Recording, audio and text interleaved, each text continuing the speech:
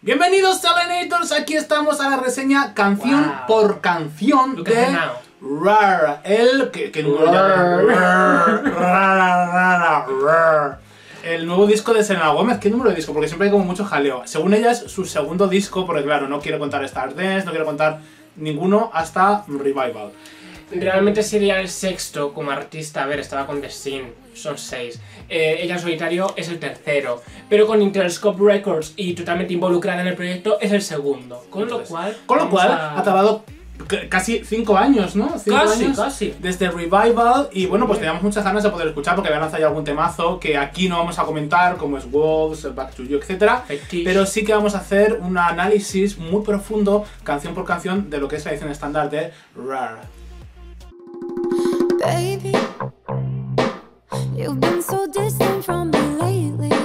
Iniciamos el álbum con el tema Rara, que es el que le da título al álbum. Es una canción muy agradable, muy divertida. No es de las mejores del álbum, pero nos da el inicio a un álbum de una forma sencilla, pero con un bajo muy marcado, unas melodías así muy agradables, muy felices.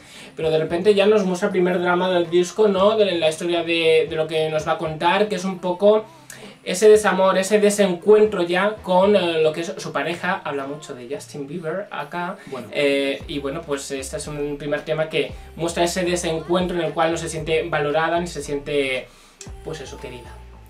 Al final te habla- es un poco la carta de presentación del disco, porque de lo que te habla bastante es de que no se siente efectivamente valorada, no le hacen sentir especial, ¿no? Esas cosas que te enamoraron de ti al final ya no son especiales, esas cosas que eran especiales en mí ya no son especiales, sino que me hace sentir como si fuese raro, me hace sentir mal por esas cosas que antes nos unía, ¿no? Y me hace sentir raro, espero que alguien pueda valorar todo lo que hago y cómo soy y que no me haga sentir raro por ello, sino que me haga sentir especial y que me haga sentir diferente y valorarme tal cual tal cual soy, ¿no? Es un poco por lo que realmente decidió alejarse, quizá Selena Gómez, ¿no? Eh, metida en un bucle eh, en el cual, pues a lo mejor no sentía que tenía una peculiaridad o no se sentía especial, sino que se sentía como rara en un mundo que le rodeaba, que la, que la hacía sentir rara. eh, como el bicho raro, decidió alejarse para coger perspectiva, ¿no? A mí esta canción me ha gustado mucho porque hace como una especie de alusión a lo que fue realmente el primer single del proyecto, que es Bad Liar, creo que fue Sí. eh, Bad Liar que triunfó muchísimo y tiene como muchas vibes de lo que es el origen, de lo que iba a ser el disco que después decidió parar, ¿no? Pero que eh, Bad Liar se ve ahí un poco esa producción muy similar en esta canción, así que me ha gustado mucho el guiño que le hace y pues para mí es una apertura bastante correcta.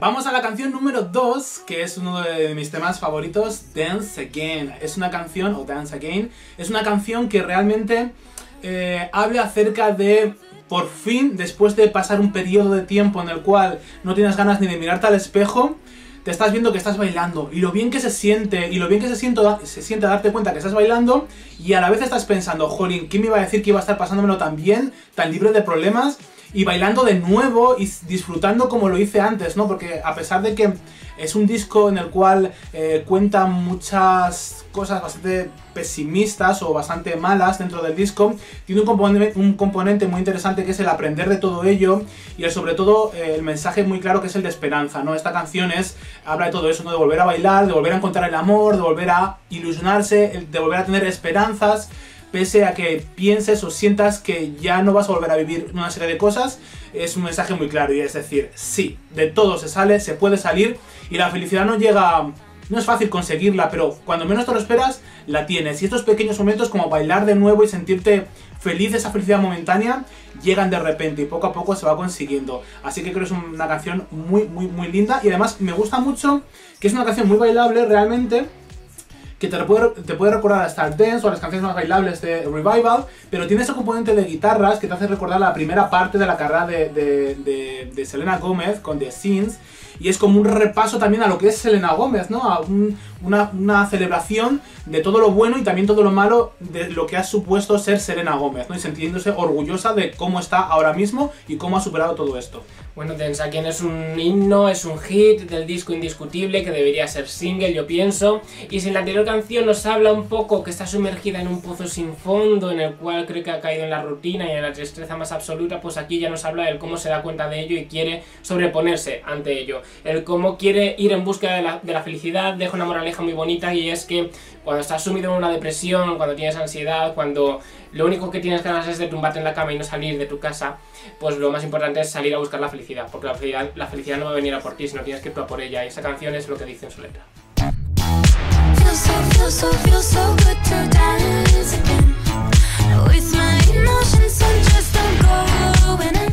Tercer tema del álbum, que fue uno de los adelantos, Look at Her Now, que eh, viene en colación de los dos anteriores temas, es decir, si continúa un poco la historia que nos va narrando, que es una historia de eh, turbulencias, de veneno, sumida en una tristeza absoluta, y aquí pues eh, se sorprende ella misma de cómo ha conseguido pasar página, de cómo ha conseguido de ir de la tristeza más absoluta en la cual no veía una luz al final del túnel, de repente empezar a verla y de repente eh, brillar de nuevo, tener la fortaleza suficiente para brillar, una fortaleza tanto física como emocional para poder brillar de nuevo por sí misma, sin nadie más que la apoye, sino el, el poder de uno mismo. Sí, es al final, es un poco el mensaje que venía ya en Dance Again, es wow. Es prácticamente como ella misma dándose cuenta de cómo está bailando de nuevo, ¿no? Y decir, wow. Fíjate, ¿quién te iba a decir que ibas a llegar a como estás ahora? ¡Wow! Imagínate, ¿quién te dijo que de estar llorando ibas a estar pasándotelo también y disfrutando de la vida de esta manera? ¡Wow! ¿Quién te dijo que lo ibas a superar? Pero lo, lo, cierto es que se superan las cosas y lo cierto es que al final vuelves a ser tú y todo vuelve a la normalidad y todo mejorará y todo llegará a un momento en el cual digas, ¡Wow! ¿Quién me iba a decir que iba a llegar a donde he llegado, no? Es cuestión de tiempo, es cuestión de mucho trabajo, claro, por supuesto. Pero al final es sorprendente de ti misma, o de, tu- de ti misma en su caso, de ti mismo, en nuestro caso que somos chicos. Y, y bueno, decir, jolín, lo he logrado. Y fíjate ahora cómo estoy. Fíjate la, la mujer en la que me he convertido, el hombre en el que me he convertido, que ha aprendido todas esas batacazos que me ha dado la vida que al final sirven para aprender, ¿no? Pues es un poco el wow. Fíjate, mírala, mírala fíjate. ahora, mírala, mírala ahora.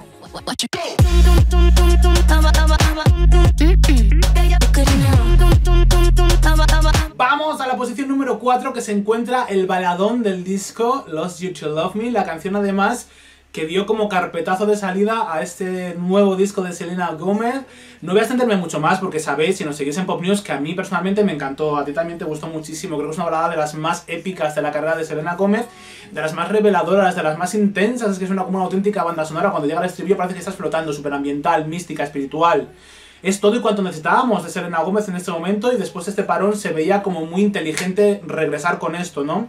Pero mucho más allá de todo esto, al final el mensaje es lo que te queda, al final eh, todas las canciones llevan a una salida y es, todo lo malo que te pasa en la vida tiene un aprendizaje.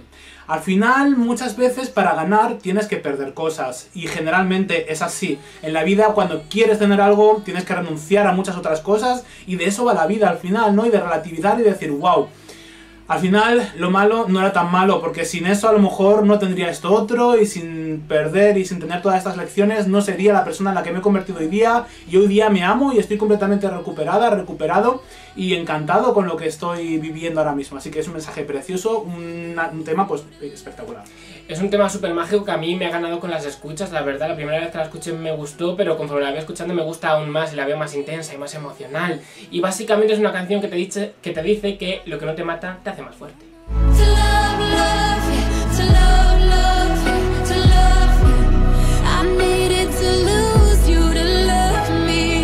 En la posición número 5 tenemos el tema Ring, que nos vamos a un estilo un poco diferente al anterior tema Lucy to Love Me. Un tema con una esencia, yo le he visto un poco western, ¿no? De repente, en la que ella se convierte un poco en una femme fatal, ¿no? Digamos, como que se llena de frialdad y quiere ser ahora ella la calculadora y la que maneje los hilos y dejar de ser la manejada y la, y la, la víctima al fin y al cabo, ¿no? En esas ocasiones ella la que toma las riendas y quiere llenarse de esa frialdad para poder manejar. Al final estas canciones que hablan de anillos me recuerdan siempre muchísimo al Material Girl de Madonna y yo creo que tiene bastante que ver esta canción de ese Material Girl porque al final es el mensaje de esa mujer fría que al final se ha hecho como una armadura y tiene que hacerse así porque los hombres la han pisoteado a lo largo de la vida y al final decide, decide ser ella la que va a jugar con los hombres y la que va a decir no, ahora mismo voy a, abrir, voy a subir un muro, nada me va a hacer daño y voy a ser yo la que va a utilizar a los hombres y al final fíjate todo lo que tengo a mi alrededor, se sienten como un anillo alrededor de mi dedo, ¿no? Que está rodeando mi dedo, pero al final lo que le digo es ¡Sola! Soy satélites alrededor. Satélites. Fuck you. Wrap around my finger like a ring,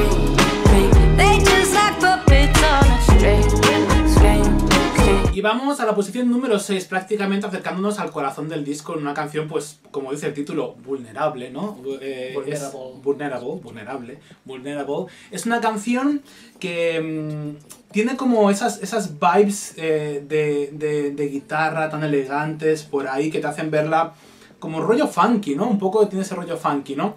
Pero es que la canción es espectacular, porque justamente te habla de, haberlo pasado mal, por una relación, porque no te encontrabas bien de alguna manera, ¿no? Levantar ese muro y al final encontrar a alguien, llegar a un punto en el que dices, wow, pues a lo mejor mm, va a llegar el momento en el cual me atrevo a volver a confiar. Igual esa, esa duda eterna, ¿no? Después de haberlo pasado mal, de alguien que te lo ha hecho pasar mal, o de haber pasado una mala etapa, una relación, decir, ¿y ahora qué? ¿Ahora me vuelvo a dejar ser vulnerable? ¿Voy a abrirme otra vez los sentimientos? ¿Volverá a ser como antes? ¿O va a resultar otra vez igual que siempre? Y va, voy a volver a sufrir y a padecer por todo esto, ¿no? ¿Merecerá la pena volver a ser vulnerable? Y bueno, pues eh, maneja un poco todas estas situaciones eh, y esa eterna duda que es ¿me dejo ir o no me dejo ir? ¿Levanto o no? Esa desconfianza, ¿merecerá la pena o no merecerá la pena? ¿Me lanzo o no me lanzo? ¿no? Todas estas cosas, la verdad que es una canción que lo refleja bastante bien y es una de mis favoritas dentro del disco. Es mi canción favorita dentro del disco, yo creo que es la joya de la corona, es muy especial y es que está llena de factores que es que es una canción hecha para mí totalmente, ¿no? Yo siento. Porque es una canción que para empezar es como una producción disco, muy ambiental, muy mágica. De repente cuando llega el, el preestribillo tiene una producción en la que ella hace los coros a sí misma, una doble voz ahí que me recuerda a las producciones de Tiziano Ferro, que a mí me encanta Tiziano Ferro. De repente aquí Selena Gómez hace esa doble voz tan mágica que me parece súper hipnótica. Y la canción está llena de preguntas. Yo soy muy de hacerme preguntas cada vez que voy a dar un paso. Me hago mil preguntas diferentes. Me pongo a mirar las cosas desde diferentes prismas. Y Selena Gómez es lo que hace en esta canción. Se pregunta cien mil cosas antes de dar un paso. Es justamente la cara B a la anterior canción. Si en la, si en la anterior canción Ring nos mostraba que era una mujer muy decidida, muy fría, en esta canción es todo lo contrario, ¿no? Eh, estoy tan dolida que quiero abrirme esta barrera, pero claro, yo no sé cuál es el momento de dejar caer esta armadura y ve- dejar ver que soy vulnerable y que tengo muchos miedos para enfrentarme de nuevo a estas situaciones como es volver a enamorarme, por ejemplo, ¿no? Es una canción muy especial. Un puente, bueno, el puente de la canción, es apoteósico.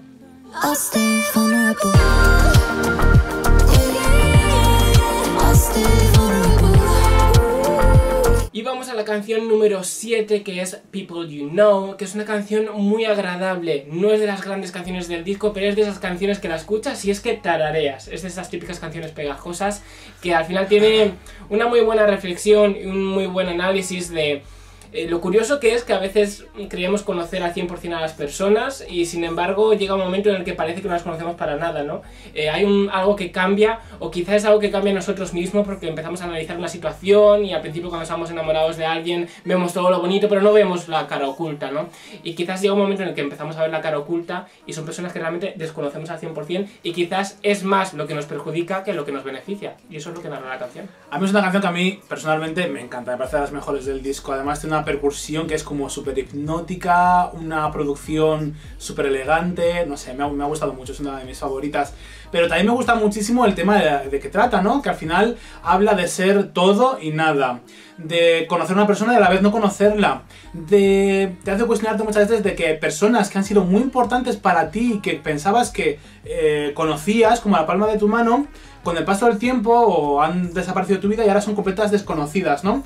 No es curioso que muchas veces nos hemos acostado con personas y han sido muy importantes en nuestra vida y nos han visto en muchos aspectos y de repente un día, porque la relación se, se rompe, no vuelves a ver a esa persona en tu vida y es una persona completamente desconocida, ¿no?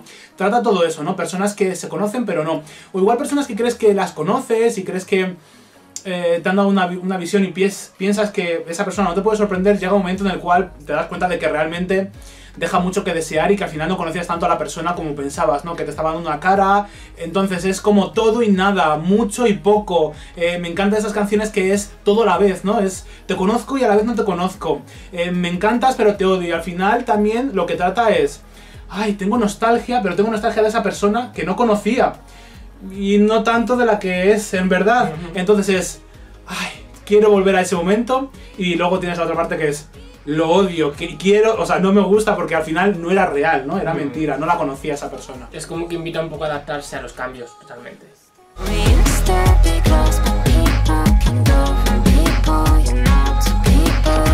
Vamos a la posición número 8, donde está la canción Let Me Kid Me, una canción... Bueno, a ver, eh, qui- quizás no es una de mis favoritas en todo el disco, pero sí que, sí que me gusta bastante de, al final de lo que habla, ¿no? Que es ay, no dejarse influenciar por personas tóxicas, ¿no? ¿Habéis conocido a esas personas que parece que les molesta que te lo estés pasando bien? Esas personas que parece que le molesta que estés pasando por un buen momento y al final te hacen recordar, ¿no? O a lo mejor eh, estás en una noche de fiesta y te dicen, ¿te acuerdas de tu ex? Y dices tú, ay, sí, pero mira, de verdad que no, de verdad que mira, vamos a que no dejarlo. Que yo ahora mismo me lo quiero pasar bien, no quiero que me cortes el rollo, ¿no? Y es una canción como muy animada, es una canción para dar otra a la discoteca, así que se suma ambos factores. Sí que es cierto que este disco de Selena Gómez no hay ninguna canción que sea eh, realmente muy bailable, o sea, creo que es un disco muy elegante y muy bien producido, eh, pese a poderse bailar, no son canciones como muy obvias, ¿no? Para pasárselo bien y con una producción muy clara, de- o sea, pensada simplemente para discotecas, ¿no? Tienen este punto que le da mucha personalidad al disco y que le da personalidad, por ejemplo, también a esta canción. Sí, bueno, es una de las producciones más bailables junto a Dance Again. Y es la canción, yo creo que mentalmente más desinhibida de todo el álbum y más liberadora, ¿no? Es una, una canción que narra la idea de dejar descansar al corazón y a la mente para simplemente dejarse llevar. Dejarse libre. llevar, desinhibirse, liberarse. Es una canción muy bonita, aunque tampoco es de mis favoritas del álbum, pero oye, se agradece que sea un género diferente dentro del álbum que va aportando de nuevos colores el disco. Don't Y llegamos al track número 9 del álbum, Crowded, Room, junto a Six Lack. Eh, es la primera colaboración que aparece dentro del álbum y es una canción puramente RB. Muy mágica, muy elegante, un poco con la misma vibra que tiene todo el álbum, pero en un género más RB, eh, digamos, puro. A mí esa canción me parece muy romántica, me parece muy especial, porque al final habla de, a pesar de que sea una habitación plagada de gente, hay alguien, hay alguien ahí que, en el que me fijo, en el que llama mi atención y de repente vuelves a estar ilusionado y se te vuelven a, dibujar las alas en la espalda para poder volar de nuevo y empiezas a sentir esas mariposas, esas ilusiones que pensabas que nunca ibas a sentir y que empiezas a sentir esa atracción, pero claro, ¿realmente valdrá la pena todo eso a lo que te vas a exponer? No, realmente yo creo que, eh, eh, lugar a dudas, la canción lo que habla es esa sensación que tienes cuando ves que todo está fluyendo, ¿no? Eh, cuando ves que todo va por un camino que dices, jolín, qué fácil era, ¿no? O sea, es decir, simplemente hay veces que eh, tenemos como miedos a abrirnos, ¿no? Y al final no confías del todo en la persona, pero hay otras relaciones y otras personas que de repente te hacen seguir, sentir como muy cómodas, eh, te hacen sentir a gusto y al final como que va fluyendo todo como mucho más rápido y es como, te hace sentir que es muy fácil, ¿no? Y yo creo que es de lo que habla precisamente la canción, de cómo cuando conoces a alguien, eh, a una persona en particular, te hace sentir tan cómodo o tan cómoda que al final todo fluye tan bien y es tan agradable y dices, jolín, pues tampoco era tan difícil, no sé. Eh, y yo creo que es una canción que precisamente refleja y llena de buen rollo precisamente y refleja muy bien la canción, o sea, lo que es la producción musical que está llena de buen rollo, ¿no? Así que pues eh, yo creo que es una canción que tiene como ese 50-50 que complementa muy bien o plasma muy bien lo que está hablando la canción en la producción. Baby,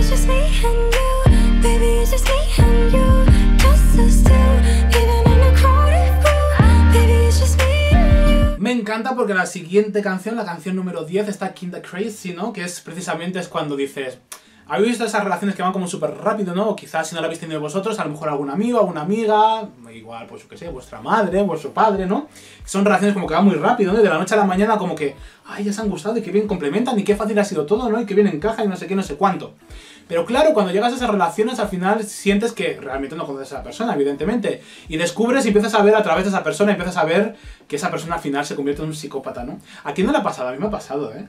O sea, descubrir que de repente Sí, a mí también. eh, te encuentras con una persona que, que dices, Dios mío, pues al final era un psicópata, ¿no? A ver, sí que es verdad que yo soy una persona como muy resabiada siempre. Y al final, pues a- me ha ido un poco la marcha, ¿verdad? Porque yo he visto hoy, yo he visto a la hostia, pero al final he dicho, uff, bueno. Me apetece la hostia. Me apetece la hostia. Vamos a ver, vamos a ver si es verdad mi intuición. Y al final, pues es confirmar mi predicción, ¿no? A mí este disco es que, claro, yo lo he querido ver ese tema como el tema más revelador del álbum porque muchos conocemos la historia que hay detrás entre Selena Gomez y Justin Bieber, el disco habla mucho de ese amor y es que en los últimos cuatro años todavía se ha seguido enredando esa relación y es por eso que nos sigue desvelando cosas. Pero a ver, es que Selena Gómez después de Justin Bieber ha estado con muchas personas. Sí, ha estado con- que ha estado con Orlando Bloom, ha ha estado- con The Weeknd, ha The estado con... Weeknd. O sea, quiero decir, aquí cuenta muchas historias de amor diferentes y diferentes situaciones que dudo mucho que todas tengan que hablar de Justin. De hecho, ha sido Esta- en las entrevistas sí que ha sido muy reveladora con las que sí que hablaban de Justin, ¿eh? Sí, pero esta personalmente es directamente dirigida a, a Justin Bieber, llamándole loco, llamándole excéntrico y eh, pues básicamente plasmando todo lo que ha tenido que vivir con él. No hubo momento en el que lo dejó con Justin Bieber y él la seguía contactando, la seguía mandando mensajes, es lo que dice en la canción, ¿no? Eras tú el que me estabas enviando mensajes y nuevamente nos has traído a esta situación en la que me estás regalando los oídos, pero ahora me entero de que estás regalando los oídos a 100.000 más, aparte de a mí. Entonces realmente volvió a sentirse rara en vez de especial. En la época Selena Gómez se culpaba a sí misma y aquí ya está en el momento en el que sabe a quién culpar porque exactamente el psicópata que la trató de esa manera fue Justin Bieber y en esa canción le llama totalmente loco de una forma clara y concisa como debía ser. Yeah, I think you're kinda crazy. You know it, you know it. You've been lying just for fun. La posición número 11 del álbum tenemos el tema Fan, que es probablemente la canción que menos me gusta del disco. Sí, te- lo iba a decir yo también. No me gusta demasiado, aunque también esa canción me recuerda a ese Bad Liar, la verdad, me hace sentir esa conexión. Pues esa producción. cosa, esa cosa funky que tiene, ¿no? No me gusta demasiado, pero bueno, la canción al final habla de. Básicamente del título, diversión. Está hablando de una historia en la que ella se deja llevar eh, más por el corazón que por la mente. Si fuese fría y calculadora, quizás no se hubiese envuelto en situaciones que después la han hecho sufrir, pero ha querido un momento de diversión, se ha dejado llevar por lo que sentía en el momento y lo ha hecho. Entonces, básicamente la canción habla de eso. Se ha dejado llevar, muchas veces es un error y otras veces, pues oye, es una anécdota que te llevas. Lo que habla es de que al final, eh, quizá en una especie de, sitio donde hay una terapia de grupo, ¿no? En la cual, pues bueno, van diferentes personas para tratar de superar traumas, ¿no?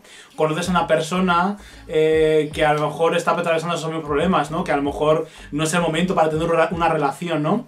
Pero al final empiezas a quedar con esa persona y a pesar de que no es el momento para comenzar nada, porque eh, no te encuentras eh, en el momento adecuado para iniciar ningún tipo de relación, veis que por ambas partes hay como mucha diversión, ¿no? Y como que, vale, no va a llegar a nada, y sabemos los dos ambos que esto no puede llegar a nada porque no estamos preparados, no estamos listos para afrontar lo que es una nueva relación, pero vamos a dejarnos llevar, vamos a pasándolo bien, me parece divertido, me parece descarado, de pasar un rato divertido y punto, ¿no? Es un poco la historia de amor entre Bárbara Rey y Chelo García Cortés, ¿no? Wow. Eh, nosotros, Chelo, tuvimos una historia de amor, pues igual es esto.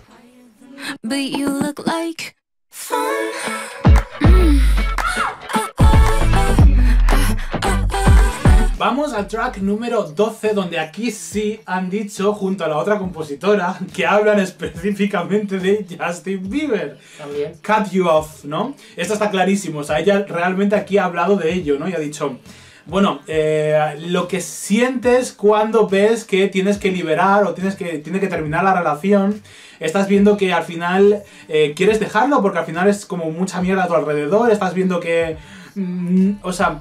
Es como que no sabes cómo cortar, ¿no? Aprovechar que realmente estás bebida y quieres... O sea, lo que narra la canción es que no es aprovechar que estoy bebida y decírtelo en ese momento, o cómo coño decirte que lo que quiero es librarme de esta pedazo de mierda que me está eh, arruinando la vida, que era Justin Bieber, ¿no? Y es al final mirarte al espejo y ver toda la mierda que tienes encima y querer quitártela y querer sacártela de encima cuanto antes. Pues esta es la sensación un poco angustiosa la canción de decir, joder, quiero que esto acabe, ¿no?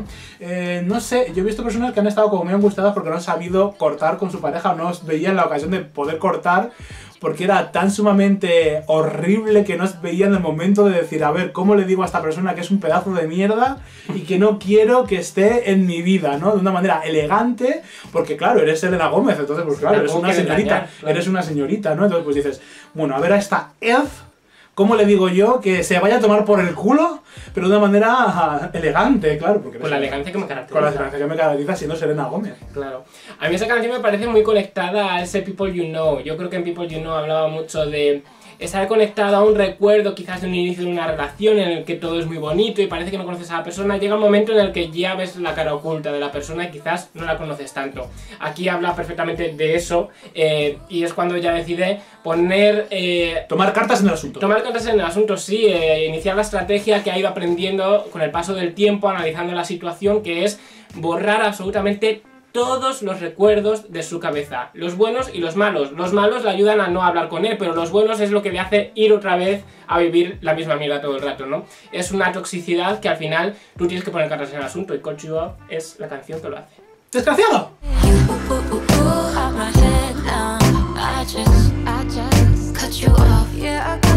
Y llegamos a la canción número 13 del álbum, la canción que cierra el disco es Oh. Sweeter Place junto a Kid Cudi. Es una canción que a mí me ha parecido súper mágica, súper dulce, súper inocente.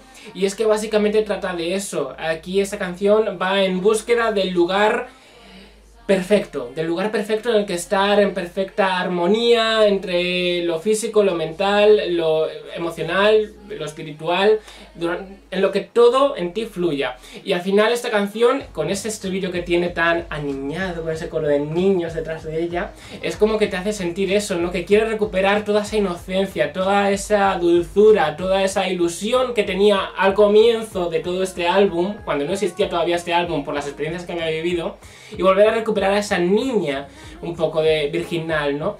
Eh, y la verdad que me gusta muchísimo esa canción porque al final deja la lectura de que es muy importante, lo primero de todo, quererse a uno mismo, porque sin quererse a uno mismo es imposible querer a los demás y es imposible mm, saber diferenciar de alguien tóxico de alguien que realmente nos ama, ¿no? Entonces es muy preciosa. Es una canción que al final eh, se entiende que cierra el disco y es como ese mensaje prácticamente también a los fans, ¿no? Bueno, os estaréis preguntando dónde ha estado todo este tiempo, qué es lo que estaba haciendo y al final da explicaciones un poco eh, dónde ha estado todo este tiempo y por qué se ha visto todo tan retrasado, tan pospuesto. Y además lo hace de una manera a la cual puedes aprender, ¿no? Te da una sabia lección realmente Selena Gómez, ¿no? Pues precisamente, ¿no? Eh, Buscando ese momento, ese lugar feliz, ese, ese lugar eh, eh, dulce, ¿no? Ese, ese sitio en el cual todo tiene sentido y al final te encuentras contigo mismo y superas todas las cosas, ¿no? Muchas personas piensan que detrás de haberlo pasado mal, al final lo que tienes que estar es como muy entretenido y tienes que estar como continuamente haciendo cosas Ocupado. y ocupado y pu, pu, pu, pu, pu, y al final eh, lo que muchas veces tienes que hacer, que es lo que dice la canción, es como alejarte, conectar otra vez con la naturaleza, meditar, eh, tener en cuenta quién eres, qué es lo que quieres, eh, reconectarte contigo mismo y decir, vale, he cogido algo de perspectiva, no voy a enlazar una relación y otra, como es probablemente el error que cometió después de Justin Bieber, vino de Weekend, vino Orlando Bloom, vino... Es decir, no, voy a tomarme un tiempo a mí misma, aprender a, quererme a mí misma, aprender a querer a mi entorno, aprender a querer la naturaleza, aprender a querer la vida, desconectar, coger aire, respirar, meditar y al final volver recargada y con ilusión para poder dar de nuevo lo mejor de mí misma. Y al final, pues si me tengo que volver a enamorar, enamorarme, si es el momento, si no, pues eh, tampoco hace falta que ese sitio dulce también sea tan idílico con el cual te vas a dejar a una persona, sino con que estés contigo mismo a gusto es suficiente, ¿no? Que al final es de lo que narra, ¿no? De quererte a ti misma, de pintarte los labios de rojo, como ella decía, Con ilusión, carmín. Pintar tu entorno de colores vibrantes, ¿no? Y eso es lo que habla la canción. Qué lindo. Y, y al final es lo que da la, Eh, o sea, la producción, tiene también esto, ¿no? Ay, ¿sabes que ¿Qué está quieres producida por MNK? decir? Emily Cake, por supuesto. Oh my goodness, es arcoíris. Es la canción más, más larga del disco y sí es verdad que a mí me gusta muchísimo, me parece una de las joyas del disco, pero se hace muy repetitiva. Quizás lo hubiese cortado un poquito. Un poquito lo hubiese Sí, cortado tú. Bueno, pero es que tú no eres Elena Gómez. Ya, ni MNK tampoco. Ni nunca lo ojalá, ojalá serlo. Nunca lo serás, no lo serás. Lo siento. Yo me parezco un poco más a Emily Cake, me han dicho, ¿no? Por los labios de Bombón. Sí. Eso dice tu Tu marido. versión negra. Eso dice tu marido, ¿no? Ajá. Tu marido dice eso. Is there a place where I can hide away? Red lips, French kiss, my worries all away.